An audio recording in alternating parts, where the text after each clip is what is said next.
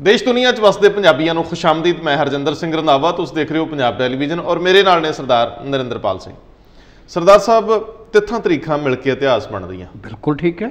ਔਰ ਕਈ ਤਰੀਕਾਂ ਜਿਹੜੀਆਂ ਤੁਹਾਡੇ ਮਨ ਮਸਤਕ ਤੇ ਡੂੰਘੀਆਂ ਲੈ ਜਾਂਦੀਆਂ। ਹਾਂ ਉੱਕਰ ਜਾਂਦੀਆਂ ਨੇ। ਔਰ ਨਾਮ ਹੀ ਉਕਰੀਆਂ ਜਾਣ ਤੇ ਉਹ ਇੰਨੀਆਂ ਕੌੜੀਆਂ ਕਸੈਲੀਆਂ ਹੁੰਦੀਆਂ ਯਾਦਾਂ ਕਿ ਤੁਹਾਨੂੰ ਇੰਜ ਲੱਗਦਾ ਕਿ ਇਹ ਮਾਈਨਸ ਹੀ ਹੋ ਜਾਣ। ਬਿਲਕੁਲ। ਔਰ 26 ਤਰੀਕ ਜਿਹੜੀ ਲੰਘ ਕੇ ਗਈ ਹੈ 26 ਮਈ। 26 ਮਈ ਜੇ 1984 ਚ ਪਰਤ ਜਾਈਏ ਦਹਾਕੇ ਪਹਿਲਾਂ। ਬਿਲਕੁਲ ਠੀਕ। ਤੇ ਉਹ ਮੀਟਿੰਗ ਜਿਹੜੀ ਇੰਦਰਾ ਗਾਂਧੀ ਨਾਲ ਅਕਾਲੀਆਂ ਦੀ ਹੁੰਦੀ ਹੈ ਬਿਲਕੁਲ। ਜਿਹੜੀ ਹੋ ਨਹੀਂ ਪਾਉਂਦੀ ਜੀ। ਜਦੋਂ ਅਕਾਲੀਏ ਇੰਦਰਾ ਦੀ ਰਿਹਾਇਸ਼ ਤੋਂ ਉੱਠ ਕੇ ਆ ਜਾਂਦੇ ਆ। ਛੇ ਤੇ ਮੇਰਾ ਖਿਆਲ ਸ਼ਾਇਦ ਉਹ ਦਿਨ ਪੰਜਾਬ ਦੇ ਇਤਿਹਾਸ ਦਾ ਐਸਾ ਕਾਲਾ ਦਿਨ ਸੀ ਹਾਂ। ਜਿਨਨੇ ਅਗਲੇ ਕਈ ਦਹਾਕੇ ਖਾ ਲਏ ਬਿਲਕੁਲ। ਜਿਨ ਇੱਕ ਬਿਲਕੁਲ ਜਿਹੜੀ ਪੰਜਾਬ ਦੀ ਸਿਆਸਤ ਔਰ ਪੰਜਾਬ ਦਾ ਮੂੰਹ ਮਹਾਂਦਰਾ ਹੀ ਮੋੜ ਕੇ ਰੱਖ ਦਿੱਤਾ। ਦੋਸਤੋ 26 ਮਈ 1984 ਨੂੰ ਆਖਰੀ ਮੀਟਿੰਗ ਹੁੰਦੀ ਆ ਅਕਾਲੀਆਂ ਦੇ ਵਿੱਚ ਔਰ ਇੰਦਰਾ ਗਾਂਧੀ ਦੇ ਸਟਾਫ ਦੇ ਵਿੱਚ ਛੇ ਉਸ ਮੀਟਿੰਗ ਦੇ ਵਿੱਚ ਇੰਦਰਾ ਗਾਂਧੀ ਦੂਸਰੇ ਕਮਰੇ 'ਚ ਬੈਠਦੀ ਹੈ ਜਿੱਥੇ ਅਕਾਲੀ ਆਗੂ ਬੈਠੇ ਸੀ ਜੀ। ਉਹਨਾਂ ਨੂੰ ਮਿਲਣ ਨਹੀਂ ਆਉਂਦੀ ਬਿਲਕੁਲ ਤੇ ਇਤਿਹਾਸ ਦੇ ਵਿੱਚ ਕਈ ਜਗ੍ਹਾ ਉਕਰਿਆ ਕਿ ਜਥੇਦਾਰ ਗੁਰਚਰਨ ਸਿੰਘ ਟੌੜਾ ਹਾਂ ਔਖੇ ਹੋ ਜਾਂਦੇ ਬਿਲਕੁਲ ਕਿ ਜੇ ਉਹ ਸਾਨੂੰ ਮਿਲਣ ਨਹੀਂ ਆ ਸਕਦੀ ਜੀ। ਤੇ ਫਿਰ ਮੀਟਿੰਗ ਕਾਦੀ ਦੇਖੋ ਤੇ ਉੱਠ ਕੇ ਆ ਜਾਣਾ। ਸਿੰਘ ਟੋੜਾ ਸਾਬਕਾ ਮੈਂਬਰ ਰਾਜ ਸਭਾ ਨੇ ਜੀ। ਉਸ ਵੇਲੇ ਮੈਂਬਰ ਰਾਜ ਸਭਾ ਨੇ। ਉਸ ਸਮੇਂ ਰਾਜ ਸਭਾ ਸੀ ਉਸ ਵਾਲੇ ਮੈਂ ਰਾਜ ਸਭਾ ਦੇ ਮੈਂਬਰ ਨੇ। ਸਰਦਾਰ ਪ੍ਰਕਾਸ਼ ਸਿੰਘ ਬਾਦਲ ਉਸ ਵੇਲੇ ਸਾਬਕਾ ਮੁੱਖ ਮੰਤਰੀ ਪੰਜਾਬ ਨੇ। ਜੀ। ਉਹ ਕਹਿੰਦੇ ਨੇ ਕਿ ਜੇ ਇਹ ਸਾਡੀ ਇੰਨਾ ਕੁ ਨਹੀਂ ਮਾਣ ਸਤਾਨ ਰੱਖ ਸਕਦੀ ਕਿ ਇੱਕ ਮੈਂਬਰ ਰਾਜ ਸਭਾ ਬੈਠਾ ਇੱਕ ਸਾਬਕਾ ਮੁੱਖ ਮੰਤਰੀ ਬੈਠਾ ਤੇਰੇ ਨਾਲ ਗੱਲ ਕਰਨ ਆਏ ਆ ਤੇ ਤੂੰ ਦੂਸਰੇ ਕਮਰੇ ਚੋਂ ਨਹੀਂ ਆ ਸਕਦੀ ਤੇ ਫਿਰ ਆ ਜਿਹੜਾ ਸਟਾਫ ਬੈਠਾ ਇਹਦੇ ਨਾਲ ਗੱਲਾਂ ਕਰਨ ਦਾ ਫਾਇਦਾ ਵੀ ਕੀ ਹੈ? ਲੇਕਿਨ ਇੱਕ ਸਵਾਲ ਵੱਡਾ ਖੜਾ ਹੋਊਗਾ ਜੀ। ਕਿ ਆਖਰ ਇਸ ਮੀਟਿੰਗ ਨੂੰ ਵਿਉਂਤਿਆ ਕਿੰਨੇ ਸੀ? ਜੀ। ਕੀ ਇਹ ਆਪਣੇ ਆਪ ਮੀਟਿੰਗ ਕਰਨ ਗਏ ਸੀ ਸੱਦੇ ਗਏ ਸੀ? ਜੀ। ਸੱਦੇ ਗਏ ਸੀ ਤੇ ਆਖਰ ਇੰਦਰਾ ਗਾਂਧੀ ਮਿਲਣ ਕਿਉਂ ਨਾ ਆਈ? ਹਾਂ। ਇਹ ਸਾਰੇ ਸਵਾਲਾਂ ਦੇ ਜਵਾਬ ਦੇਣ ਲਈ ਸਾਡੇ ਕੋਲ ਉਪਲਬਧ ਹੋਣਗੇ ਇਸ ਵੇਲੇ ਉਮਰ ਦੇ ਲਿਹਾਜ਼ ਨਾਲ। ਸਰਦਾਰ ਪ੍ਰਕਾਸ਼ ਸਿੰਘ ਬਾਦਲ। ਬਿਲਕੁਲ। ਮੈਂ ਦੋਸਤੋ ਤੁਸੀਂ ਮੇਰੇ ਨਾਲੋਂ ਜ਼ਿਆਦਾ ਸਿਆਣੇ ਹੋ ਪਰ ਮੈਨੂੰ ਇੰਜ ਲੱਗਦਾ ਕਿ ਜੇ ਇਤਿਹਾਸਕ ਤੁਸੀਂ ਸਬਕ ਸਿੱਖਣੇ ਹੋਣ ਤੇ ਜੋ ਗਲਤੀਆਂ ਅਸੀਂ ਪਿੱਛੇ ਕਰ ਆਉਂਦੇ ਹਾਂ ਜੀ। ਸਭ ਤੋਂ ਜ਼ਿਆਦਾ ਬੰਦਾ ਉਹਨਾਂ ਤੋਂ ਸਿੱਖਦਾ। ਜੀ। ਜੇ ਕੌਮੀ ਅਧੋਗਤੀ ਇਹਨਾਂ ਕਾਰਨਾਂ ਕਰਕੇ ਹੋਈ ਕਿ ਅਸੀਂ ਸਮੇਂ ਸਿਰ ਢੁਕਵੇਂ ਫੈਸਲੇ ਨਾ ਲੈ ਸਕੇ ਤੇ ਇਹਨਾਂ ਦੇ ਚਸ਼ਮਦੀਦ ਸਿਰਫ ਤੇ ਸਰਦਾਰ ਪ੍ਰਕਾਸ਼ ਸਿੰਘ ਬਾਦਲ ਜਿਹੜੇ ਜਿਉਂਦਿਆਂ ਚਾਹੁੰਦੇ ਜੀ। ਬਹੁਤੇ ਫੌਤ ਹੋ ਗਏ। ਜੀ। ਜੇਕਰ ਪ੍ਰਕਾਸ਼ ਸਿੰਘ ਬਾਦਲ ਉਮਰ ਦੇ ਇਸ ਪੜਾਅ ਦੇ ਉੱਤੇ ਵੀ ਸਚਾਈਆਂ ਸਾਹਮਣੇ ਨਹੀਂ ਰੱਖਦੇ ਜੀ। ਸਾਹਮਣੇ ਨਹੀਂ ਆਉਂਦੇ ਹਾਂਜੀ। ਤੱਥ ਤੱਥਾਂ ਨੂੰ ਤਸਦੀਕ ਨਹੀਂ ਕਰਦੇ ਜੀ। ਬਰੀਕੀਆਂ ਲੁਕੀਆਂ ਹੋਈਆਂ ਨੂੰ ਉਜਾਗਰ ਨਹੀਂ ਕਰਦੇ। ਤੇ ਇਹ ਸਦਾ ਪ੍ਰਕਾਸ਼ ਸਿੰਘ ਬਾਦਲ ਦੀ ਸ਼ਖਸੀਅਤ ਦੇ ਉੱਤੇ ਵੱਡਾ ਹਰਫ ਹੋਊਗਾ। ਕਿ ਆਖਰ ਕਿਹੜੀਆਂ ਮਜਬੂਰੀਆਂ ਨੇ ਕਿ ਉਹ ਬੋਲਦੇ ਨਹੀਂ। ਇਸ ਦੇ ਨਾਲ ਹੀ ਇੱਕ ਸਵਾਲ ਹੋਰ ਵੀ ਖੜਾ ਹੋਏਗਾ। ਅੱਜ ਜਦੋਂ ਅਸੀਂ ਬਾਰ-ਬਾਰ ਕਹਿ ਰਹੇ ਹਾਂ ਕਿ ਬੇਗਾਨੇ ਜਿਹੜੇ ਨੇ ਉਹ ਸਾਡੇ ਇਤਿਹਾਸ ਨੂੰ ਤੋੜ ਮਰੋੜ ਕੇ ਪੇਸ਼ ਕਰ ਰਹੇ ਨੇ। ਜੀ। ਅਸੀਂ ਅਗਰ ਉਸ ਇਤਿਹਾਸ ਦੇ ਉਹਨਾਂ ਪੰਨਿਆਂ ਨੂੰ ਸਹੀ ਤਰ੍ਹਾਂ ਦਰਪੇਸ਼ ਨਹੀਂ ਕਰਾਂਗੇ ਤੇ ਫਿਰ ਉਹਨਾਂ ਪੰਨਿਆਂ ਬਾਰੇ ਵੀ ਉਹਨਾਂ ਤਰਕ ਸਚਾਈਆਂ ਬਾਰੇ ਵੀ ਇੱਕ ਦੁਬਿਧਾ ਬਣੀ ਰਹੇਗੀ।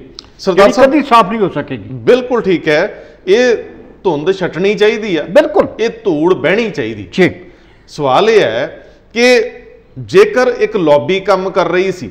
ਸਿੱਖ ਵਿਰੋਧੀ ਲੌਬੀ ਦੇਸ਼ ਵਿੱਚ ਕੰਮ ਕਰ ਰਹੀ ਸੀ। ਜੀ ਜਿਹੜੀ ਇੰਦਰਾ ਗਾਂਧੀ ਨੂੰ ਪ੍ਰੇਰਿਤ ਕਰ ਰਹੀ ਸੀ। ਬਿਲਕੁਲ। ਜਿਹਦੇ ਵਿੱਚ ਮੌਜੂਦਾ ਹਾਕਮਾਂ ਦੇ ਸਰਪ੍ਰਸਤ ਵੀ ਨੇ। ਜੀ ਜੀ। ਜਿਹੜੇ ਉਦੋਂ ਇਹ ਕਹਿ ਰਹੇ ਸੀ ਕਿ ਤੁਸੀਂ ਇਹ ਹਮਲਾ ਕਰੋ। ਹਾਂ। ਤੁਸੀਂ ਦੇਸ਼ ਦੀ ਏਕਤਾ ਅਖੰਡਤਾ ਲਈ ਇਹ ਬੜਾ ਜ਼ਰੂਰੀ ਆ। ਬਿਲਕੁਲ। ਕਿ ਉਦੋਂ ਸਿੱਖ ਲੌਬੀ ਮਾਈਨਸ ਸੀ।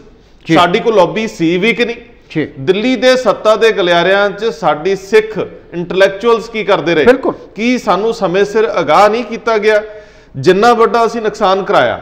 ਜਦੋਂ ਇਸ ਗੱਲ ਦਾ ਸਾਨੂੰ ਪਤਾ ਸੀ ਕਿ ਵੋਟਾਂ ਦੇ ਧਰੁਵੀਕਰਨ ਦੇ ਨਜ਼ਰੀਏ ਨਾਲ ਕਿਸੇ ਘੱਟ ਗਿਣਤੀ ਨੂੰ ਜਦੋਂ ਮਰਜ਼ੀ ਆਸਾਨੀ ਨਾਲ ਟਾਰਗੇਟ ਕੀਤਾ ਜੀ। ਸਕਦਾ। ਔਰ ਜਿਹਦੇ ਨੁਕਸਾਨ ਉਸ ਕੌਮ ਲਈ ਦਹਾਕਿਆਂ ਤੱਕ ਫੈਲ ਜਾਣਗੇ। ਤੇ ਕੀ ਉਦੋਂ ਜਿਹੜੀ ਸਾਡੀ ਇਹ ਲੀਡਰਸ਼ਿਪ ਸੀ। ਇਹ ਵਿਜ਼ਨਰੀ ਨਹੀਂ ਸੀ ਇਹਨਾਂ ਇਹ ਦੂਰਦ੍ਰਿਸ਼ਟੀ ਵਾਲੇ ਲੋਕ ਨਹੀਂ ਸੀ। ਕਿ ਇਹ ਦੂਰ ਤੱਕ ਨਹੀਂ ਸੀ ਦੇਖ ਪਾ ਰਹੇ ਕਿ ਅਸੀਂ ਕਿੱਡੇ ਵੱਡੇ ਦੁਖਾਂਤ ਵਿੱਚ ਸ਼ਾਮਲ ਹੋਣ ਵਾਲੇ ਦੇਖੋ ਹੈਰਾਨੀ ਇਹ ਆ ਕਿ ਜਿਹੜਾ ਪੰਜਾਬ ਦੇ ਹੱਕੀ ਮੰਗਾਂ ਲਈ ਮੋਰਚਾ ਸ਼ੁਰੂ ਹੁੰਦਾ ਧਰਮ ਯੁੱਧ ਮੋਰਚਾ। ਉਹਨੂੰ ਅਕਾਲੀ ਦਲ ਜਿਹੜਾ ਆ ਜਿਹੜਾ ਉਸ ਵੇਲੇ ਸ਼੍ਰੋਮਣੀ ਅਕਾਲੀ ਦਲ ਸੀ 4 ਅਗਸਤ 1982 ਨੂੰ ਅਪਣਾ ਲੈਂਦਾ ਹੈ। ਜੀ। ਸਭ ਤੋਂ ਪਹਿਲਾ ਜਥਾ ਸਾਹਿਬ ਪ੍ਰਕਾਸ਼ ਸਿੰਘ ਬਾਦਲ ਲੈ ਕੇ ਜਾਂਦੇ ਨੇ। ਔਰ ਉਹਦੇ ਤੋਂ ਬਾਅਦ। ਜਿਹੜੀਆਂ ਮੀਟਿੰਗਾਂ ਅਕਾਲੀ ਦਲ ਅਕਾਲੀ ਆਗੂਆਂ ਦਰਮਿਆਨ ਤੇ ਇੰਦਰਾ ਗਾਂਧੀ ਤੇ ਉਹਦੇ ਸਟਾਫ ਦਰਮਿਆਨ ਹੁੰਦੀਆਂ ਨੇ। ਜੀ। ਅਗਰ ਉਹਨਾਂ ਮੀਟਿੰਗਾਂ ਦੀਆਂ ਤਰੀਕਾਂ ਹੀ ਦੇਖ ਲਓ ਜੀ। ਤੇ ਪਹਿਲੀ ਮੀਟਿੰਗ ਹੈਗੀ 16 17 ਨਵੰਬਰ 1982 ਦੀ। ਜੀ। ਦੂਸਰੀ ਮੀਟਿੰਗ ਹੈ 17 ਜਨਵਰੀ 1983 ਦੀ। ਜੀ। ਚੌਥੀ ਮੀਟਿੰਗ ਹੈ 24 ਜਨਵਰੀ 1984 ਦੀ। ਜੀ। ਔਰ ਉਹਦੇ ਤੋਂ ਬਾਅਦ ਜਿਹੜੀ ਸਭ ਤੋਂ ਲੰਬੀ ਮੀਟਿੰਗ ਚੱਲਦੀ ਹੈ ਜੀ। ਉਹ ਸ- 27 28 29 ਮਾਰਚ 1984 ਦੀ ਹੈ। ਅੱਛਾ। ਉਹਦੇ ਤੋਂ ਬਾਅਦ 21 ਅਪ੍ਰੈਲ 1984 ਦੀ ਇੱਕ ਹੋਰ ਮੀਟਿੰਗ ਹੈ। ਜੀ। ਹੁਣ ਜਿਹੜਾ ਸਵਾਲ ਤੁਸੀਂ ਕੀਤਾ ਕਿ ਕੀ ਸਾਡਾ ਵਿਜ਼ਨ ਨਹੀਂ ਸੀ ਕੋਈ? ਜੇ ਸਾਡਾ ਕੋਈ ਵਿਜ਼ਨ ਸੀ ਜਾਂ ਅਗਰ ਅਸੀਂ ਕੋਈ ਮਨ ਦੇ ਵਿੱਚ ਧਾਰਿਆ ਹੋਇਆ ਸੀ ਜੀ। ਜਾਂ ਕਿਤੇੋਂ ਅੱਗਿਓਂ ਹੁੰਗਾਰਾ ਮਿਲ ਰਿਹਾ ਸੀ ਤੇ ਫਿਰ ਹੀ ਇਹ 26 ਮਈ ਦੀ ਮੀਟਿੰਗ ਦਾ ਖਿਆਲ ਆਇਆ ਕਿਤੇ? ਸਰਦਾਰ ਸਾਹਿਬ ਇਸ ਤੋਂ ਵੀ ਇਹਨੂੰ ਇੱਕ ਧਿਰੀ ਨਹੀਂ ਮੰਨਿਆ ਜਾ ਸਕਦਾ ਇੱਕ ਮੀਟਿੰਗ ਤਰੀ ਬਿਲਕੁਲ ਨਹੀਂ। ਔਰ ਜਿਹੜੇ ਇੰਦਰਾ ਗਾਂਧੀ ਦੇ ਪ੍ਰਿੰਸੀਪਲ ਸੈਕਟਰੀ ਸੀਗੇ। ਜੀ। Alexander. Alexander PC Alexander. PC Alexander ਜਿਹੜੇ ਬਾਅਦ ਚ ਗਵਰਨਰ ਬਣਦੇ ਆ। ਬਿਲਕੁਲ। ਔਰ ਮੈਂਬਰ ਪਾਰਲੀਮੈਂਟ ਵੀ ਬਣਦੇ। ਬਿਲਕੁਲ। ਉਹ ਸੀਨੀਅਰ ਬਿਊਰੋਕਰੇਟ ਆਪਣੀ ਕਿਤਾਬ ਦੇ ਵਿੱਚ ਉਹ ਸਾਰੇ ਹਵਾਲੇ ਦੇ ਰਿਹਾ। ਜੀ। ਸਾਰੇ ਅੰਕੜਿਆਂ ਸਮੇਤ। ਹੈ ਕਿ। ਕਦੋਂ ਕਦੋਂ ਕਿੱਥੇ ਕਿੱਥੇ ਮੀਟਿੰਗਾਂ ਹੋਈਆਂ ਉਹਨਾਂ ਦੇ ਵਿੱਚ ਫੈਸਲੇ ਕੀ ਹੋਏ। ਕੌਣ ਕੌਣ ਸ਼ਾਮਲ ਹੋਏ। ਜੀ। ਜੇਕਰ ਮੀਟਿੰਗਾਂ ਦਾ ਦੌਰ ਹੁਣ ਦੋ ਬੰਦੇ ਤਿੰਨ ਬੰਦੇ ਇਸ ਵੇਲੇ ਸਾਡੇ ਕੋਲ ਮੌਜੂਦ ਨੇ। ਜੀ। ਜਿਨ੍ਹਾਂ ਚੋਂ ਨੰਬਰ 1 ਤੇ ਸਰਦਾਰ ਪ੍ਰਕਾਸ਼ ਸਿੰਘ ਬਾਦਲ ਜੀ। ਨੰਬਰ 2 ਤੇ ਸਰਦਾਰ ਰਵੀਂਦਰ ਸਿੰਘ ਜਿਹੜੇ ਠੀਕ ਹੈ। 1920 ਅਕਾਲੀ ਦਲ ਦੇ ਨੇ। ਤੇ। ਤੀਜੇ ਸਰਦਾਰ ਕੈਪਟਨ ਅਮਰਿੰਦਰ ਸਿੰਘ। ਜੀ। ਕੈਪਟਨ ਅਮਰਿੰਦਰ ਸਿੰਘ ਵੀ ਗੱਲਬਾਤ ਮੀਟਿੰਗਾਂ 'ਚ ਸ਼ਾਮਲ ਹੁੰਦੇ ਰਹੇ। ਕਈ ਮੀਟਿੰਗਾਂ 'ਚ ਸ਼ਾਮਲ ਹੋਏ। ਰਵਿੰਦਰ ਸਿੰਘ ਕਈ ਮੀਟਿੰਗਾਂ 'ਚ ਸ਼ਾਮਲ ਹੋਏ। ਔਰ ਇਹ ਗੱਲਬਾਤ ਦਾ ਆਧਾਰ ਇਹੀ ਸੀ ਕਿ ਕਿਸ ਤਰੀਕੇ ਨਾਲ ਜੋ ਸੰਕਟ ਬਣ ਗਿਆ ਇਹਨਾਂ ਨੂੰ ਟਾਲਿਆ ਜਾ ਸਕੇ। ਜੀ। ਹੁਣ ਇਹਨਾਂ ਦੀਆਂ ਬਰੀਕੀਆਂ ਵੱਲ ਕੋਈ ਜਾਣਾ ਨਹੀਂ ਚਾਹੁੰਦਾ। ਇਹਨਾਂ ਦੀਆਂ ਬਰੀਕੀਆਂ ਵੱਲ ਜਾਣਾ ਨਹੀਂ ਚਾਹੁੰਦਾ। ਜਿਨ੍ਹਾਂ ਨੇ ਉਹਨਾਂ ਮੀਟਿੰਗਸ ਦੇ ਵਿੱਚ ਜੋ ਵੀ ਹੋਇਆ ਉਹਨੂੰ ਲੁਕਾ ਕੇ ਰੱਖ ਲਿਆ ਸੀਨੇ 'ਚ। ਬਿਲਕੁਲ ਸਹੀ ਗੱਲ। ਠੀਕ ਹੈ ਜੀ। ਸਾਡੇ ਨਾਲ ਸਰਦਾਰ ਰਵਿੰਦਰ ਸਿੰਘ ਪ੍ਰੋਮਿਸ ਕਰਕੇ ਗਏ ਸੀ ਕਿ ਮੈਂ ਤੁਹਾਨੂੰ ਦੱਸਾਂਗਾ। ਹਾਂ। ਠੀਕ ਹੈ ਜੀ। ਕੈਪਟਨ ਅਮਰਿੰਦਰ ਸਿੰਘ ਬੋਲਣਾ ਨਹੀਂ ਚਾਹਣਗੇ ਕਿਉਂਕਿ ਮੁੱਖ ਮੰਤਰੀ ਨੇ। ਮੁੱਖ ਮੰਤਰੀ ਨੇ। ਲੇਕਿਨ ਸਰਦਾਰ ਪ੍ਰਕਾਸ਼ ਸਿੰਘ ਬਾਦਲ ਦੀ ਕੀ ਮਜਬੂਰੀ ਆ? ਜਿਹੜੇ ਹੈ ਹੀ ਪੰਥਕ। ਜਿਹੜੇ ਕਹਿੰਦੇ ਹੀ ਪੰਥਕ। ਜਿਹੜੇ ਫਖਰੇ ਕੌਮ ਨੇ। ਜਿਨ੍ਹਾਂ ਕੋਲ ਸ਼੍ਰੋਮਣੀ ਕਮੇਟੀ ਹੈ ਜਿਨ੍ਹਾਂ ਕੋਲ ਅਕਾਲੀ ਦਲ ਦੇ ਰੂਪ ਵਿੱਚ ਸਿੱਖ ਸਾਈਕੀ ਦਾ ਦੀ ਲੰਬਰਦਾਰੀ ਹੈ। ਬਿਲਕੁਲ। ਫਿਰ ਬੋਲੂ ਕੌਣ? ਤੁਸੀਂ ਨਹੀਂ ਬੋਲੋਗੇ। ਜੇ ਨਹੀਂ ਬੋਲਦੇ ਤੇ ਸਰਦਾਰ ਸਾਹਿਬ ਉਹ ਕਿਹੜੇ ਡਰ ਨੇ ਜਿਹੜੇ ਤੁਹਾਨੂੰ ਬੋਲਣ ਨਹੀਂ? ਬਿਲਕੁਲ। ਦੇਖੋ ਜਦੋਂ 26 ਮਈ ਦੀ ਆਖਰੀ ਮੀਟਿੰਗ ਹੁੰਦੀ ਹੈ ਉਹਦੇ ਤੋਂ ਅਗਲੇ ਦਿਨ 27 ਮਈ ਆ। ਜੀ। 27 ਮਈ ਨੂੰ ਅਕਾਲੀ ਦਲ ਕੋਈ ਬਿਆਨ ਨਹੀਂ ਦਿੰਦਾ। ਹੂੰ। ਅਚਨਚੇਤ 28 ਮਈ 1984 ਹੁਣ ਤੁਸੀਂ ਤਰੀਕਾਂ ਦੀ ਗੱਲ ਕਰ ਰਹੇ ਸੀ। ਜੀ। 28 ਮਈ 1984 ਨੂੰ ਅਕਾਲੀ ਦਲ ਸਿਵਲ ਨਾਫਰਮਾਨੀ ਲਹਿਰ ਦਾ ਐਲਾਨ ਕਰ ਦਿੰਦਾ ਨਾ ਮਿਲਵਰਤਨ। ਨਾ ਮਿਲਵਰਤਨ। ਸਰਕਾਰ ਨਾਲ ਕੋਈ ਸਾਂਝ ਨਹੀਂ। ਕੋਈ ਸਾਂਝ ਨਹੀਂ। ਔਰ ਉਸ ਲਹਿਰ ਦੇ ਲਈ ਦਿਨ ਚੁਣਿਆ ਜਾਂਦਾ 3 ਜੂਨ 1984 ਦਾ। ਜੀ। ਜੋ ਕਿ ਉਸ ਵੇਲੇ ਗੁਰੂ ਅਰਜਨ ਪਾਤਸ਼ਾਹ ਦੇ ਸ਼ਹੀਦੀ ਦਿਹਾੜਾ ਸੀ। ਜੀ।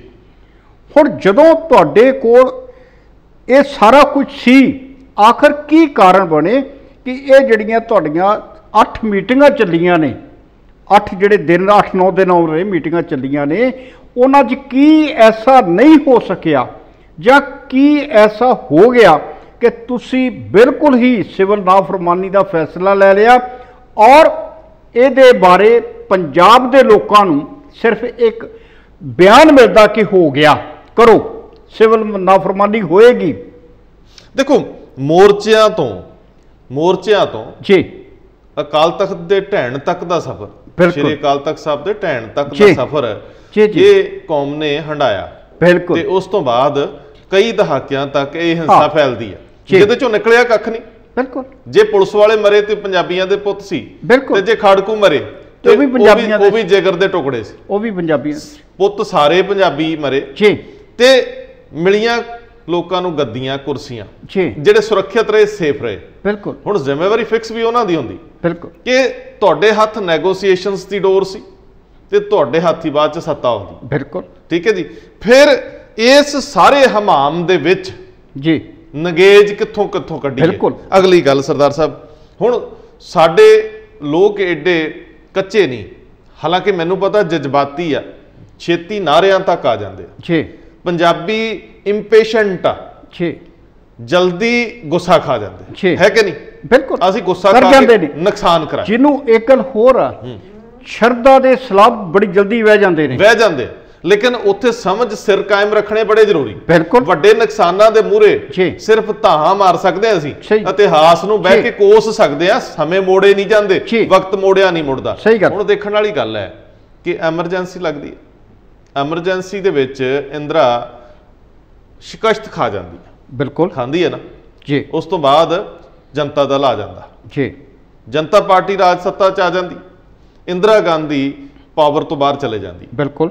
ਉਸ ਦੌਰਾਨ ਵੀ ਕਿਉਂਕਿ ਪੰਜਾਬੀਆਂ ਦਾ ਖਾਸਾ ਹੈ ਧੱਕੇ ਦੇ ਖਿਲਾਫ ਖਲੋਣਾ ਖਲੋਣਾ ਬਣਦਾ। ਜਿਓ ਔਰ ਉਹ ਇੱਕ ਲਹਿਰ ਬਣਦੀ ਹੈ ਧਰਮਯੁੱਧ ਮੋਰਚੇ ਵਾਲੀ ਸੀਗੀ। ਜੀ। ਐਮਰਜੈਂਸੀ ਦੇ ਖਿਲਾਫ ਲੱਗਦਾ ਨਹੀਂ ਇਹ ਲਹਿਰ ਬਣਦੀ ਆ ਜਦੋਂ 19 ਅਪ੍ਰੈਲ 1982 ਦੇ ਵਿੱਚ ਜਦੋਂ ਸਤਲੁਜ ਯਮਨਾ ਲਿੰਕ ਨਹਿਰ ਦਾ ਨਹੀਂ ਜਦੋਂ 75 ਦੇ ਵਿੱਚ ਐਮਰਜੈਂਸੀ ਦਾ ਵਿਰੋਧ। ਅਕਾਲੀਏ ਕਰਦੇ ਆ ਐਮਰਜੈਂਸੀ ਹਾਂ ਉਥੋਂ ਕਿਉਂਕਿ ਕੱਲਾ ਪੰਜਾਬ ਦੇ ਵਿੱਚ ਅਕਾਲੀ ਦਲ ਨੇ ਇੰਦਰਾ ਗਾਂਧੀ ਦਾ ਵਿਰੋਧ ਕੀਤਾ ਬਿਲਕੁਲ ਜਦੋਂ ਸਾਰਾ ਦੇਸ਼ ਸੁੱਤਾ ਪਿਆ ਸੀ ਜੀ ਉਦੋਂ ਕਾਲੀਆਂ ਨੇ ਡਟ ਕੇ ਉਹਦਾ ਵਿਰੋਧ ਕੀਤਾ। ਔਰ ਉਹਨੇ ਨੈਗੋਸ਼ੀਏਸ਼ਨ ਦਾ ਯਤਨ ਵੀ ਕੀਤਾ ਜੀ ਅਸੀਂ ਇੰਦਰਾ ਗਾਂਧੀ ਨੂੰ ਬਿਲਕੁਲ ਜਸਟੀਫਾਈ ਨਹੀਂ ਕਰ ਰਹੇ ਲੇਕਿਨ ਇੱਕ ਸੱਚ ਹੈ। ਕਿ ਜਦੋਂ ਪੰਜਾਬ ਨੂੰ ਬਹੁਤ ਵੱਡਾ ਨੁਕਸਾਨ ਨਹੀਂ ਸੀ। ਸਾਨੂੰ ਉਸ ਯੁੱਧ ਨਾਲੋਂ ਕੁਝ ਪ੍ਰਾਪਤੀ ਲੈ ਲੈਣੀ ਚਾਹੀਦੀ ਸੀ ਬਿਲਕੁਲ। ਨੰਬਰ 2 ਜਦੋਂ ਸਰਦਾਰ ਸਾਹਿਬ ਇੰਦਰਾ ਹਰਦੀ ਹੈ ਹਾਂਜੀ ਠੀਕ ਹੈ ਜੀ ਫਿਰ ਉਸ ਤੋਂ ਬਾਅਦ ਉਹ 80 ਚ ਵਾਪਸ ਆਉਂਦੀ ਹੈ ਜਿਓ। 80 ਚ ਵਾਪਸ ਆਉਂਦੀ ਹੈ। ਬਿਲਕੁਲ ਬਿਲਕੁਲ ਔਰ 80 ਤੋਂ ਬਾਅਦ 84 ਆ ਜਾਂਦਾ ਜੀ ਜਦੋਂ ਅਸੀਂ ਨੁਕਸਾਨ ਜੀ। ਉਹਦੇ ਵੀ ਸਲਾਹਕਾਰ ਹੋਣਗੇ ਮੈਨੂੰ ਲੱਗਦਾ ਹੈ ਕਿ ਵੋਟਾਂ ਦੇ ਧਰੁਵੀਕਰਨ ਨੂੰ ਲੈ ਕੇ ਸਿੱਖਾਂ ਨੂੰ ਟਾਰਗੇਟ ਕੀਤਾ ਗਿਆ ਜੀ ਜਦੋਂ ਸਾਊਥ ਦੇ ਵਿੱਚ ਕੁਝ ਜਿਹੜੇ ਏਰੀਏ ਸੀਗੇ। ਉਹਨਾਂ ਦੇ ਵਿੱਚ ਇੰਦਰੋ ਇੰਦਰਾ ਹਾਰ ਜਾਂਦੀ ਹੈ। ਜੀ। 82 ਦੀ ਸ਼ਾਇਦ ਇਲੈਕਸ਼ਨ ਸੀ ਵਿਧਾਨ ਸਭਾ ਸੀਗਾ ਤੁਸੀਂ ਅੰਕੜੇ ਕਰੈਕਟ ਕਰ ਲਿਓ। ਤਿੰਨ ਵੱਡੀਆਂ ਸਟੇਟਾਂ ਹਾਰ ਜਾਂਦੀਆਂ। ਲੇਕਿਨ ਇੰਦਰਾ ਗਾਂਧੀ ਦੀ ਜਿਹੜੀ ਪਾਰਟੀ ਆ ਉਹ ਜ਼ਿਆਦਾ ਹਿੰਦੂ ਬਹੁਲ ਇਲਾਕਿਆਂ ਦੇ ਵਿੱਚ ਜਿੱਤਦੀ ਹੈ। ਇੱਕ ਪ੍ਰੈਸ਼ਰ ਬਿਲਡ ਹੋ ਜਾਣ ਹੋਣਾ ਸ਼ੁਰੂ ਹੋ ਜਾਂਦਾ। ਜਿੱਦਾਂ ਹੁਣ ਵੀ ਅਸੀਂ ਦੇਖਦੇ ਜੀ। ਕਿ ਹੁਣ ਦੀ ਰਾਜਨੀਤੀ ਵੀ ਧਰੁਵੀਕਰਨ ਦੀ ਹੈ। ਜੀ। ਕੋਈ ਨਾ ਕੋਈ ਘੱਟ ਗਿਣਤੀ ਟਾਰਗੇਟ ਤੇ ਰਹਿੰਦੀ ਹੈ। ਭਾਵੇਂ ਅਸੀਂ ਉਹਨਾਂ ਚੀਜ਼ਾਂ ਨੂੰ ਬਹੁਤ ਡੀਪਲੀ ਸੋਚੀਏ ਨਾ ਸੋਚੀਏ ਸੱਤਾ ਦਾ ਵਿਧਾਨ ਹੈ ਕਿ ਵੋਟ ਕਿੱਥੋਂ ਨਿਕਲਦੀ? ਕਾਲੀਏ ਵੀ ਕਰਦੇ ਆ। ਸਾਰੇ ਹੀ ਕਰ ਰਹੇ। ਨਾਲੇ ਲੋਕਤੰਤਰ ਹੈ। ਹਾਂ। ਲੋਕਤੰਤਰ ਹੈ ਸਿਰ ਗਿਣੇ ਜਾਣੇ ਆ। ਵੋਟਾਂ ਦੀ ਗਿਣਤੀ। ਵੋਟਾਂ ਗਿਣੀਆਂ ਜਾਣੀਆਂ। ਲੇਕਿਨ ਇਹ ਸਵਾਲ ਬੜਾ ਵੱਡਾ ਸੀਗਾ ਕਿ ਇੰਦਰਾ ਗਾਂਧੀ ਨੂੰ 84 ਤੋਂ ਬਾਅਦ ਜਿਹੜੀ ਇਲੈਕਸ਼ਨ ਆ ਰਹੀ ਸੀ ਉਹਨੂੰ ਜਿੱਤਣ ਲਈ ਜੀ। ਕੋਈ ਨਾ ਕੋਈ ਤਗੜੀ ਛਵੀ ਵਾਲਾ ਇੱਕ ਆਪਣਾ ਸਰੂਪ ਚਾਹੀਦਾ ਸੀ। ਜੀ। ਅਸੀਂ ਉਦੋਂ ਭਾਂਪ ਨਾ ਸਕੇ ਕਿ ਅਸੀਂ ਸੌਫਟ ਟਾਰਗੇਟ ਕਿਉਂ ਬਣ ਰਹੇ ਹਾਂ? ਸਾਡੀ ਲੀਡਰਸ਼ਿਪ ਇਹ ਕਿਉਂ ਨਾ ਦੇਖ ਸਕੀ ਕਿ ਅਸੀਂ ਜਿਸ ਦਿਸ਼ਾ ਨੂੰ ਜਾ ਰਹੇ ਹਾਂ ਅਗਲੇ ਤਾਂ ਇਹੀ ਚਾਹ ਰਹੇ। ਦੇਖੋ ਅਸੀਂ ਜਦੋਂ ਆਪ ਹੀ ਦੁਬਦਾ ਚ ਰਹੇ ਜੀ। ਇੱਕ ਪਾਸੇ ਤੇ ਅਸੀਂ ਧਰਮਯੁੱਧ ਮੋਰਚਾ ਅਪਣਾ ਲਿਆ। ਹੂੰ। ਦੂਸਰੇ ਪਾਸੇ ਅਸੀਂ ਧਰਮਯੁੱਧ ਮੋਰਚੇ ਦੇ 4 ਅਗਸਤ ਨੂੰ ਮੋਰਚਾ ਸ਼ੁਰੂ ਹੁੰਦਾ ਤੇ ਅਸੀਂ ਮੈਚ 2.5 ਮਹੀਨੇ ਬਾਅਦ ਹੀ ਗੱਲਬਾਤ ਕਰਨ ਤੁਰ ਹਾਂ। ਬਿਲਕੁਲ। ਹੁਣ ਦੇਖੋ ਸਿਆਸਤ ਕਿੱਥੇ ਜਾਂਦੀ ਹੈ? ਕਿ 16 17 ਨਵੰਬਰ ਨੂੰ ਮੀਟਿੰਗ ਹੁੰਦੀ ਹੈ। ਉਸ ਤੋਂ ਬਾਅਦ 17 ਜਨਵਰੀ ਹੈ। ਜੀ। 83 ਦੀ। ਫਿਰ ਇੱਕ ਸਾਲ ਲੰਘ ਜਾਂਦਾ। ਹੁਣ ਉਧਰ ਦਾ ਵਿਜ਼ਨ ਦੇਖੋ ਤੇ ਇਧਰ ਦਾ ਵਿਜ਼ਨ ਦੇਖੋ ਫਿਰ। ਜੀ ਜੀ। ਉਹ ਇੱਕ ਸਾਲ ਇਹਨਾਂ ਨੂੰ ਹੋਰ ਛੱਡ ਦਿੰਦੇ ਨੇ। ਜੀ। ਕਿ ਪਹਿਲੇ ਜਿਹੜੇ ਪਹਿਲੇ ਜੋ ਕੋਈ ਲਾਰੇ ਲੱਗੇ ਸੀ ਉੱਥੇ ਖੜੇ ਰਹੋ। ਜੀ। ਹੁਣ ਕਾਰਨ ਹੈ ਕਿ ਅਗਰ ਇਹ ਨਹੀਂ ਸਮਝ ਸਕੇ ਜਾਂ ਇਹ ਦੱਸ ਦੇਣ ਕਿ ਆਖਰ ਇਹ ਮੀਟਿੰਗਾਂ ਇੰਨਾ ਦੇਰੀ ਨਾਲ ਜਿਹੜੀਆਂ ਲਟਕੀਆਂ ਇੱਕ ਸਾਲ ਬਾਅਦ ਹੋਈ ਆ ਉਹਦੇ ਮਗਰ ਕੀ ਤਾਕਤ ਸੀ? ਜਦੋਂ 83 ਤੁਹਾਡੀ ਜਨਵਰੀ 'ਚ ਹੋ ਗਈ ਮੀਟਿੰਗ ਫਿਰ 84 ਜਨਵਰੀ 'ਚ ਹੋਣ ਡਈ ਆ। ਇੱਕ ਸਾਲ ਬਾਅਦ ਇੱਕ ਸਾਲ 7 ਦਿਨ ਬਾਅਦ ਹਾਲਾਤ ਵਿਗੜਨ ਦਿੱਤੇ ਗਏ। ਦਿੱਤੇ ਗਏ। ਹਾਲਾਤ ਬਣਨ ਦਿੱਤੇ ਗਏ। ਬਿਲਕੁਲ। ਕਿ ਉਹਨਾਂ ਨੂੰ ਉਸ ਪੀਕ ਤੇ ਲੈ ਆਓ ਬਿਲਕੁਲ। ਜਿੱਥੇ ਸੌਖਿਆਂ ਟਾਰਗੇਟ ਕੀਤਾ ਜਾ ਔਰ ਸਭ ਤੋਂ ਅਹਿਮ ਗੱਲ ਜਿਹੜੀ ਹੈ ਕਿ ਹਮੇਸ਼ਾ ਇਹ ਕਿਹਾ ਜਾਂਦਾ ਅੱਜ ਵੀ ਜਦੋਂ ਅੱਜ ਸਿਆਸੀ ਲੋਕਾਂ ਵੱਲ ਤੁਸੀਂ ਦੇਖੋ ਉਹ ਕਹਿੰਦੇ ਪਾਰਟੀ ਪ੍ਰਧਾਨ ਤੋਂ ਬਿਨਾਂ ਕਾਦੇ ਕੰਮ ਹੋਇਆ ਜੀ? ਕਦੀ ਤੁਸੀਂ ਦੇਖੋ ਪਾਰਟੀ ਪ੍ਰਧਾਨ ਤੋਂ ਬਿਨਾਂ ਕੋਈ ਬੋਲਦਾ ਨਹੀਂ। ਜੀ। ਲੇਕਿਨ ਇਸ ਸਾਰੀਆਂ ਮੀਟਿੰਗਾਂ ਦੀ ਧਰਮਯੁੱਧ ਮੋਰਚੇ ਦੀ ਤਰਸਦੀ ਹੈ ਕਿ ਅਕਾਲੀ ਦਲ ਦਾ ਪ੍ਰਧਾਨ ਕਿਸੇ ਮੀਟਿੰਗ 'ਚ ਨਹੀਂ ਜਾ ਰਿਹਾ। ਸੰਤ ਹਰਚੰਦ ਸਿੰਘ ਲੌਂਗੋਵਾਲ। ਸੰਤ ਹਰਚੰਦ ਸਿੰਘ ਲੋਂਗੋਵਾਲ ਡਿਕਟੇਟਰ ਹੈ ਧਰਮਯੁੱਧ ਮੋਰਚੇ ਦਾ। ਲੇਕਿਨ ਉਹ ਇਹਨਾਂ ਸਾਰੀਆਂ ਮੀਟਿੰਗਾਂ ਦੇ ਵਿੱਚ ਕਿਧਰੇ ਵੀ ਸ਼ਾਮਲ ਨਹੀਂ ਹੈ। ਇਹ ਬਿਲਕੁਲ ਸੱਚ ਹੈ ਜਿਹੜਾ ਹੁਣ ਵੱਡਾ ਸਵਾਲ ਬਹੁਤ ਵੱਡਾ ਸਵਾਲ ਲੋਕਾਂ ਦੇ ਮਨਾਂ 'ਚ ਹੋਊਗਾ ਲੇਕਿਨ ਕਿਸੇ ਨੇ ਕਰਨਾ ਨਹੀਂ। ਬਿਲਕੁਲ। ਸਾਡੇ ਪੋਲੀਟੀਕਲ ਬੌਸ ਜਿਹੜੇ ਆ ਵੱਖ-ਵੱਖ ਪਾਰਟੀਆਂ ਨਾਲ ਸੰਬੰਧਿਤ ਉਹ ਇੱਕ ਦੂਜੇ ਦਾ ਲਿਹਾਜ਼ ਜ਼ਿਆਦਾ ਕਰਦੇ ਆ। ਕੋਈ ਨਹੀਂ ਸਰਦਾਰ ਪ੍ਰਕਾਸ਼ ਸਿੰਘ ਬਾਦਲ ਨੂੰ ਪੁੱਛੂਗਾ ਕਿ। ਸਰਦਾਰ ਸਾਹਿਬ ਇਹ ਉਮਰ ਦੇ ਤਕਾਜ਼ੇ ਹੁੰਦੇ ਆ। ਇਹ ਚੀਜ਼ਾਂ ਨੇ ਇਤਿਹਾਸ ਬਣਨਾ ਹੁੰਦਾ। ਕੁਝ ਸੱਚ ਜਿਹੜੇ ਸੀਨੇ 'ਚ ਦਫਨ ਨੇ ਜੀ। ਉਹਨਾਂ ਨੂੰ ਬੇਪਰਦ ਕਰ ਦਿਓ। ਨਹੀਂ ਤੇ ਫਿਰ ਕੈਪਟਨ ਅਮਰਿੰਦਰ ਸਿੰਘ ਜਿਹੜੇ ਨੇ ਜੀ। ਉਹ ਤੇ ਕਿਤਾਬਾਂ ਲਿਖਣ 'ਚ ਵੀ ਮਾਹਰ ਨੇ। ਬਿਲਕੁਲ। ਉਹ ਇਤਿਹਾਸ ਲਿਖਣ ਦੇ ਵਿੱਚ ਆਪਣਾ ਸਮਾਂ ਦਿੰਦੇ ਨੇ। ਕਿ ਉਹ ਇਹ ਸਾਰੇ ਸੱਚ ਬਾਹਰ ਰੱਖ ਸਕਦੇ ਨੋ ਕਿਉਂ? ਉਹ ਸੱਤਾ ਹੀ ਫਿਰ ਉੱਥੋਂ ਆ ਰਹੀ ਹੈ। ਦੇਖੋ ਗੱਲ ਤਾਂ ਫਿਰ ਉੱਥੋਂ ਆ ਗਈ। ਜਿਸ ਸੱਤਾ ਤੇ ਵੱਡੇ ਸਿੰਘਾਸਨ ਤੇ ਉਹ ਆਸੀਨ ਨੇ ਜੀ। ਉਹ ਤਾਂ ਉੱਥੋਂ ਹੀ ਆ ਰਿਹਾ ਉਸੇ ਪਰਿਵਾਰ ਦੀ ਤਹਿਤ ਆ ਹਾਂ। ਰਿਹਾ ਕਿ ਜਦੋਂ ਤੁਸੀਂ ਅਮਰਿੰਦਰ ਕਿੱਦਾਂ ਕਰ ਸਕਣਗੇ? ਇਹਨਾਂ ਕੁਰਸੀਆਂ ਤੇ ਬਹਿ ਕੇ ਕੌਣ ਕਰ ਸਕਦਾ? ਬਿਲਕੁਲ ਜਦੋਂ ਤੁਸੀਂ ਪੰਜਾਬ ਨੂੰ ਦਾਤ ਲਾ ਕੇ ਜੀ। ਆਪਣੀ ਸੱਤਾ ਲੱਭੀ ਹੋਈ ਆ ਤੇ ਫਿਰ ਮਾਫ ਕਰਨਾ ਰੰਧਾਵਾ ਸਾਹਿਬ ਜ਼ਬਾਨ ਕਦੇ ਵੀ ਨਹੀਂ ਖੁੱਲੇਗੀ। ਲੇਕਿਨ ਸਭ ਤੋਂ ਵੱਡੀ ਜ਼ਿੰਮੇਵਾਰੀ ਆਇਦ ਹੁੰਦੀ ਹੈ ਪ੍ਰਕਾਸ਼ ਸਿੰਘ ਬਾਦਲ। ਬਾਦਲ ਤੇ। ਪ੍ਰਕਾਸ਼ ਸਿੰਘ ਬਾਦਲ ਇਸ ਵੇਲੇ ਉਸ ਦੌਰ 'ਚ ਦਾਖਲ ਹੋ ਗਿਆ। ਜੀ। ਜਿੱਥੇ ਅਕਾਲੀ ਦਲ ਪਛਾਂ ਹਾਂ। ਅਕਾਲੀ ਦਲ ਬੇਅਦਬੀ ਮਾਮਲਿਆਂ ਤੋਂ ਲੈ ਕੇ। ਸਾਰੇ ਸੰਕਟਾਂ 'ਚ ਘਿਰਿਆ ਹੋਇਆ। ਹਾਂ। ਅੱਜ ਜੇ ਸਦਾ ਪ੍ਰਕਾਸ਼ ਸਿੰਘ ਬਾਦਲ ਇਹ ਹਿਆ ਕਰਨ ਜੀ। ਇਹ ਉਹਨਾਂ ਸਿਆਹ ਦੌਰ ਦਾ ਸੱਚ ਲੋਕਾਂ ਦੇ ਸਾਹਮਣੇ ਰੱਖ ਦੇਣ ਬਿਲਕੁਲ। ਔਰ ਉਹ ਐਸਾ ਮੌਕਾ ਸੀ ਜਦੋਂ ਨਵੰਬਰ 1983 ਦੇ ਵਿੱਚ ਅਕਾਲ ਤਖਤ ਦੇ ਅਕਾਲ ਤਖਤ ਸਾਹਿਬ ਦੇ ਸਨਮੁਖ ਸੰਤ ਹਰਚੰਦ ਸਿੰਘ ਲੌਂਗੋਵਾਲ ਔਰ ਸੰਤ ਜਰਨੈਲ ਸਿੰਘ ਭਿੰਡਰਾਵਾਲੇ ਆਪ ਮੌਜੂਦ ਨੇ ਔਰ 83000 ਮਰਜੀਵੜੇ ਸਹੁੰ ਚੁੱਕਦੇ ਨੇ ਕਿ ਅਸੀਂ ਦਰਬਾਰ ਸਾਹਿਬ ਦੀ ਰਾਖੀ ਲਈ ਆਪਣਾ ਤਨ ਮਨ ਧਨ ਵਾਰ ਦਿਆਂਗੇ। ਉਹਨਾਂ ਮਰਜੀਵੜਿਆਂ ਦੇ ਵਿੱਚ ਇਹ ਸਾਡੇ ਸਿਆਸੀ ਲੀਡਰ ਵੀ ਸ਼ਾਮਲ ਨੇ ਸਹੁੰ ਚੁੱਕਣ ਦੇ ਵਿੱਚ। ਸਭ ਤੋਂ ਪਹਿਲਾਂ ਹੋਣਗੇ ਨਾ ਜੀ। ਮੋਰੇ। ਬੇਸਿਕਲੀ ਉਹ ਮੋਰਚੇ ਤਾਂ ਸੱਤਾ ਦਾ ਸਮਾਨ ਹੁੰਦੇ ਆ। ਹਾਂ। ਸਭ ਤੋਂ ਪਹਿਲਾਂ ਸਾਨੂੰ ਉੱਥੋਂ ਕੁਰਸੀਆਂ ਦਿਸਦੀਆਂ। ਬਿਲਕੁਲ। ਸਾਨੂੰ ਲੱਗਦਾ ਐਜੀਟੇਸ਼ਨ ਐਜੀਟੇਸ਼ਨ ਨਹੀਂ। ਇਹ ਤਾਂ ਇਲੈਕਸ਼ਨ ਕੈਂਪੇਨ ਵਾਂਗ ਹੁੰਦੀ ਹੈ ਬਿਲਕੁਲ। ਇਹ ਲੋਕਾਂ ਦੇ ਜਜ਼ਬਾਤ ਨੂੰ ਪੂਰਾ ਅੱਗ ਵਾਂਗ ਲਾਂਬੂ ਲਾ ਕੇ। ਜੀ। ਫਿਰ ਅਸੀਂ ਉਹਦਾ ਸੇਕ ਭਾਲਦੇ ਫਿਰ ਤੇ ਇਹ ਸਿਆਸੀ ਸੇਕ ਸਾਨੂੰ ਜੀ। ਸਰਦਾਰ ਜੀ ਸੱਤਾ ਦੇ ਸੇਕ ਤੱਕ ਲੈ ਕੇ ਜਾਂਦਾ ਰੰਧਾਵਾ ਸਾਹਿਬ ਜਿਹੜਾ ਡਿੱਗ ਦਿੰਦਾ। ਰੰਧਾਵਾ ਸਾਹਿਬ ਜੀ। ਫਿਰ ਜਦੋਂ ਤੁਸੀਂ ਇੰਦਰਾ ਗਾਂਧੀ ਦਾ ਭਵਿੱਖ ਦੇਖਦੇ ਹੋ ਤੇ ਫਿਰ ਅਕਾਲੀ ਦਲ ਆਪਣਾ ਭਵਿੱਖ ਕਿਉਂ ਨਾ ਵੇਖੇ? ਦੇਖੋ ਮੈਂ ਇਹ ਕਹਿ ਰਿਹਾ ਵਾਂ ਕਿ ਸਰਦਾਰ ਸਾਹਿਬ ਜੋ ਵਾਪਰ ਗਿਆ ਉਹਨੂੰ ਤੁਸੀਂ ਮੋੜ ਕੇ ਨਹੀਂ ਲਿਆ ਸਕਦੇ। ਬਿਲਕੁਲ ਨਹੀਂ। ਲੰਗੇ ਪਾਣੀ ਲੰਗੇ ਵਕਤ ਮੁੜਦੇ ਨਹੀਂ ਇਹ ਛੇ। ਇੱਕ ਇਬਾਰਤ ਹੈ ਜਲ ਚੋਂ ਲੰਘ ਗਿਆ ਪੁਲ ਹੇਠੋਂ ਉਸ ਮੋੜ ਨਹੀਂ ਹੋਣਾ ਭਲਕੇ। ਬਿਲਕੁਲ। ਲੇਕਿਨ ਕੀ ਅਸੀਂ ਉਹ ਤੋਂ ਸਬਕ ਸਿੱਖ ਸਕਦੇ ਹਾਂ। ਕੀ ਅਸੀਂ ਉਸ ਬੁਰੇ ਵਕਤ ਨੂੰ ਆਧਾਰ ਬਣਾ ਕੇ ਪ੍ਰਯੋਗਸ਼ਾਲਾ 'ਚ ਰੱਖਾਂਗੇ? ਜੀ। ਇਹ ਪ੍ਰਯੋਗਸ਼ਾਲਾ ਸਾਡੇ ਮਨ ਮਸਤਕ 'ਚ ਵੀ ਹੈ ਤੇ ਸਾਡੇ ਜੀਵਨ ਦੇ ਪ੍ਰੈਕਟਿਸ ਵਿੱਚ ਵੀ ਹੈ। ਸਿਆਸਤ ਅੱਜ ਵੀ ਉਵੇਂ ਹੀ ਕੰਮ ਕਰ ਰਹੀ ਹੈ। ਅੱਜ ਵੀ ਕਾਲੀਏ ਨੇ ਅੱਜ ਵੀ ਕਾਂਗਰਸੀਏ ਨੇ। ਜੀ। ਅੱਜ ਕੁਝ ਨਹੀਂ ਬਦਲਿਆ। ਜੇ ਬਦਲਿਆ ਤੇ ਕਈ ਘਰਾਂ ਦੇ ਬਨੇਰਿਆਂ ਤੇ ਕੋਈ ਕਾਂ ਨਹੀਂ ਅੱਜ ਵੀ ਅੱਜ ਵੀ ਜਦੋਂ ਜੂਨ 84 ਦਾ ਇਹ ਹਫਤਾ ਮਨਾਇਆ ਜਾਏਗਾ ਅੱਜ ਵੀ ਉਹੀ ਚਿਹਰੇ ਜਦੋਂ ਤੁਸੀਂ ਗੌਰ ਨਾਲ ਦੇਖੋਗੇ ਉਹੀ ਚਿਹਰੇ ਤੁਹਾਨੂੰ ਮੋਹਰੇ ਨਜ਼ਰ ਆਉਣਗੇ ਜਿਹੜੇ ਚਿਹਰੇ ਜੂਨ 84 ਦੇ ਵਿੱਚ ਮੰਚ ਦੇ ਉੱਤੇ ਸਾਹਮਣੇ ਆਸੀਨ ਹੁੰਦੇ ਸੀ ਉਸ ਵੇਲੇ ਜਿਹੜੇ ਗਰਮ ਨਾਰੇ ਮਾਰਦੇ ਸੀ ਅੱਜ ਵੀ ਉਹੀ ਚਿਹਰੇ ਨੇ ਚਿਹਰੇ ਨਹੀਂ ਬਦਲੇ। ਇੱਕ ਚੀਜ਼ ਹੋਰ। ਜੀ। ਇੱਕ ਚੀਜ਼ ਹੋਰ ਆ ਸਵਾਲ ਪੁੱਛਿਓ ਬਣਦਾ ਹੈ। ਸਾਡਾ ਸਭ ਤੋਂ ਅਹਿਮ ਵਰਗ ਜਿਹੜਾ ਜੀਂਦਾ ਕਿਤਾਬਾਂ ਦੇ ਸਿਰ ਤੇ ਇਤਿਹਾਸ ਦੇ ਸਿਰ ਤੇ ਬੁੱਧੀਜੀਵੀ ਵਰਗ। ਜੀ।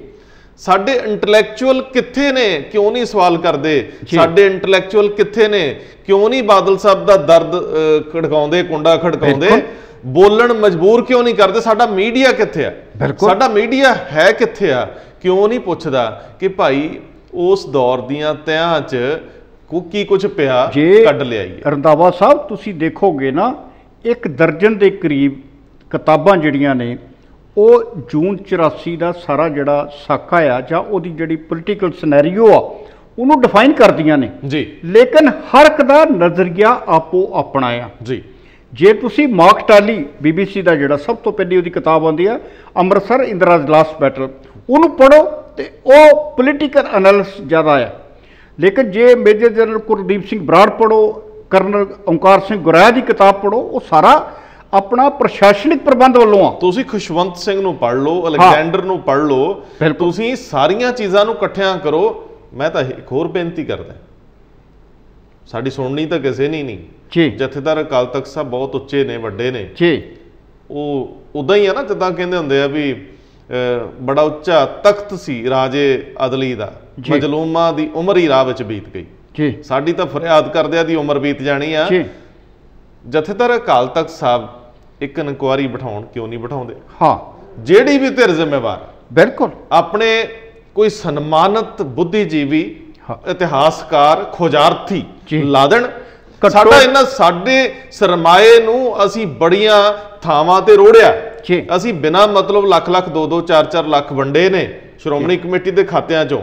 ਸਭ ਤੋਂ ਵੱਡਾ ਸੇਕ ਜਿਹਨੇ 4 ਦਹਾਕਿਆਂ ਦੇ ਲਗਭਗ ਸਾਨੂੰ। ਪ੍ਰਭਾਵਿਤ ਕੀਤਾ ਹੈ ਉਹਦੀ ਜਾਂਚ ਲਈ ਸਿੰਘ ਸਾਹਿਬ ਗਿਆਨੀ ਹਰਪ੍ਰੀਤ ਸਿੰਘ ਕਿਤਾਬ ਨਾਲ ਬੜਾ ਨੇੜੇ ਦਾ ਰਿਸ਼ਤਾ ਰੱਖਦੇ ਆ। ਕੀ ਉਹ ਚਾਹਣਗੇ ਕਿ ਜਿੰਨਾ ਮਟੀਰੀਅਲ ਪਿਆ ਹੈ। ਜਿੰਨੇ ਬੰਦੇ ਜਿਉਂਦੇ ਆ ਜੀ ਸਾਰਿਆਂ ਨਾਲ ਇੱਕ ਥੋਰੋਲੀ ਪ੍ਰੋਬ ਜਿਹਨੂੰ ਕਹਿੰਦੇ ਆ ਪੜਤਾਲ ਆ ਜਾਂਚ ਆ।